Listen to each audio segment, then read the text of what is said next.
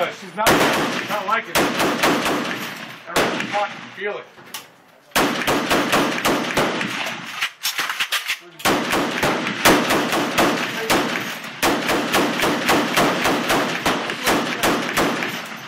Put the other one. There you go.